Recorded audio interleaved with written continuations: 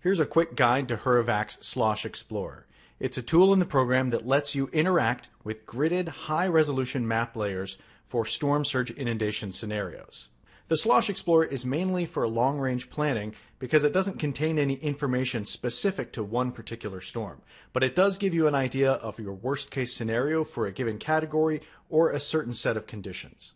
There are two types of slosh products in HURREVAC moms and meows. And to fully explore those acronyms and what they mean, I encourage you to check out the HURREVAC user guide, as well as day four of our annual webinar series. The first 30 minutes contains an expert breakdown of how those products are made by the National Hurricane Center Storm Surge Unit and what they mean. In this video, we'll show you how to access and interact with that information inside the program.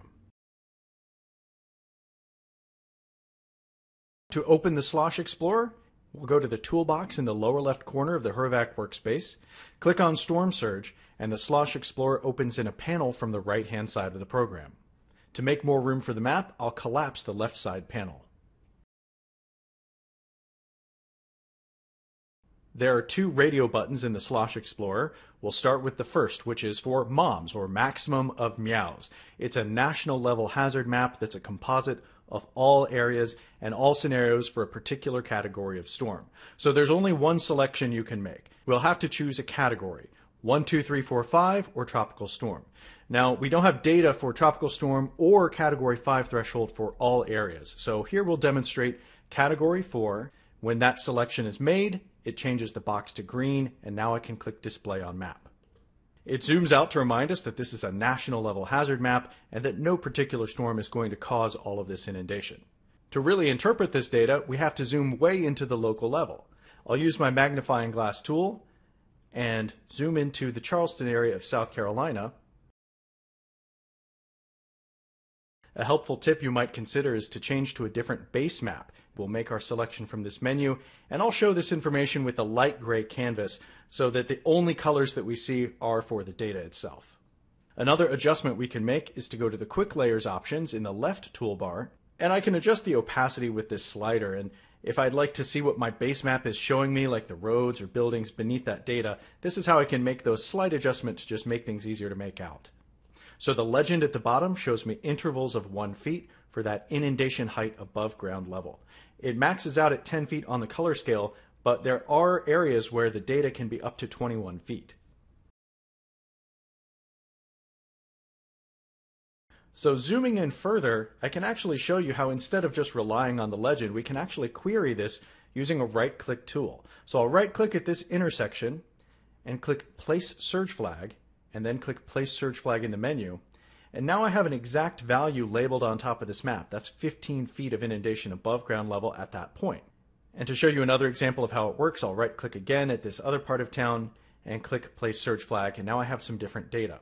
So let me show you what happens when I want to update and show a different category of mom.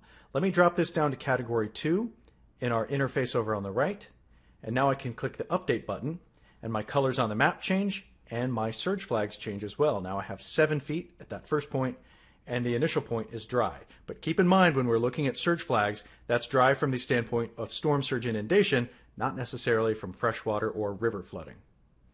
This is very high resolution data and we can zoom in further, but this is best interpreted on a community level.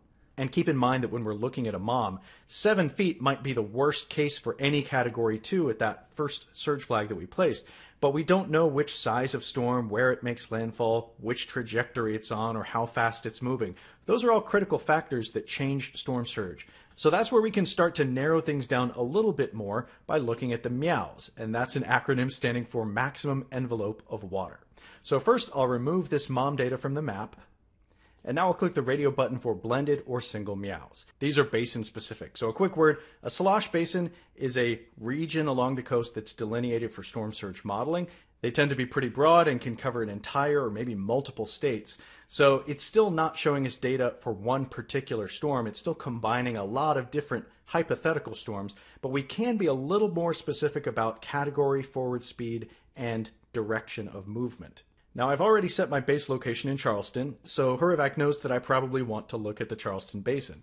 But I can select from any of these options here to explore slosh data that's localized for areas along the East Coast, Gulf Coast, Caribbean, or Pacific.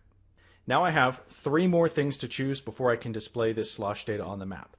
I have to choose category, just like I did with the moms, but I also have to choose direction and speed. So let's step through it. Let's say we want to perhaps make an exercise dealing with a category 4 hurricane in the Charleston area. So I've made that selection first. Now moving into the direction, these are all the directions that the NHC Storm Surge Unit has performed modeling. So that's anywhere from a storm moving to the due west, to northwest, to moving due north, to moving northeast. Parallel implies a storm that's close enough to create storm surge, but does not actually make landfall. Now the thing about direction is you can choose one, or you can choose multiple, and the Slosh Explorer will blend those different layers to give you different output. In this example, let's blend slosh data for hurricanes moving only to the northwest or toward the north-northwest. And we also have the option to choose a forward speed. And these are predefined in miles per hour. There's a slow moving 5 mile per hour option or a fast moving 35 mile per hour option. And these categories and directions and speeds vary depending on which slosh basin you're working with. But let's say our exercise involves a hurricane with a forward speed of roughly 15 miles per hour. Now I can click display on map the HURREVAC map zooms out to remind us that this is a basin-wide composite, that no individual storm is going to create all of that inundation that's mapped here, because it's still blending together many different hurricanes along many different landfall points from Georgia all the way up to North Carolina. So this is more specific than a mom, but it's still much more general than what we would see in the real world. So we're still planning for a worst case scenario, but the worst case when we're talking about a category 4, moving either to the northwest or north-northwest at 15 miles per hour. So I can either zoom back in or use my left pointing go to previous map extent arrow to go back to the Charleston area. And I'll zoom in just a little bit further to show you how these surge flags that we placed for the moms are still there, but they've now updated with these values for this meow that we created. 14 feet at the first flag, 5 feet at the second flag. And just like the moms, we can also make new selections over here in the panel. Let's say we wanted to model a category 5 and also incorporate a north moving direction and click update. And the values on the map will update and the surge flags will update as well. And if you're tasked with doing a lot of analysis and planning for a certain number of places, you might want to save those surge flags as points of interest so you can retrieve them and reload them into your slosh maps every time you open HURREVAC instead of having to place them one by one. And to do so, we'll right click, click Place Surge Flags, and from the submenu, click Save Surge Flags as POIs. So now it's stored in my user profile, and I can retrieve these flags tomorrow a little bit faster than how I made them today. And for more information about the Slosh Explorer and just what the Slosh products mean and how they're generated, we encourage you to watch day four of our annual webinar series. That recording is right here on YouTube. Or you can click the question mark in the upper right corner of the panel, and that takes you to the HURREVAC user guide page all about the Slosh Explorer.